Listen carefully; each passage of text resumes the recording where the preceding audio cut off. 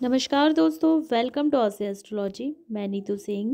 दोस्तों, मुझसे जुड़ने के लिए चैनल को सब्सक्राइब कर लें, जिससे कि वीडियो की अपडेट आप सभी लोगों तक पहुँचती रहे।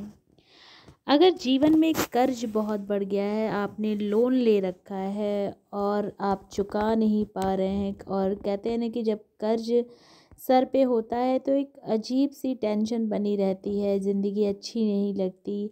बहुत सारी प्रॉब्लम चारों तरफ़ से घेरे रहती है। अगर आप चाहते हैं कि आपका कर्ज जल्दी उतरे, अगर आप चाहते हैं आपने जो लोन लिया है, उसे आप जल्दी चुका दें। तो मंगलवार को करें ये उपाय। आप सात नारियल लें पानी वाला। उसके बाद आपके घर के आसपास कोई भी मंदिर हो, जहाँ हनुमान जी का मंदिर हो, वहाँ पर जाएँ। अपने सर से सातों नारियल को सात बार उतार लें और एक एक करके हनुमान जी के सामने सारे नारियल फोड़ दें।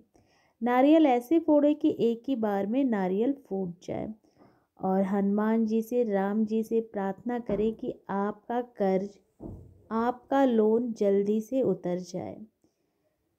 और जब भी आप लोन या कर्ज चुकाते हैं, किसी से आपने पैसा लिया हो या लोन की किस्त अदा करनी हो या लोन आपको भरना हो तो पहला आप, पहला उपाय ये कीजिए कि आप जब भी किसी को कर्ज, किसी का कर्ज उतारना चाहते हैं तो मंगलवार से शुरू करें।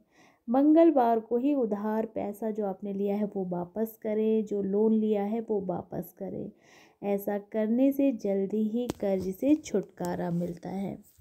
दोस्तों, अगर आपको वीडियो मेरी पसंद आई, वीडियो लाइक करें, शेयर करें, मुझसे जुड़ने के लिए मेरे चैनल को सब्सक्राइब करें।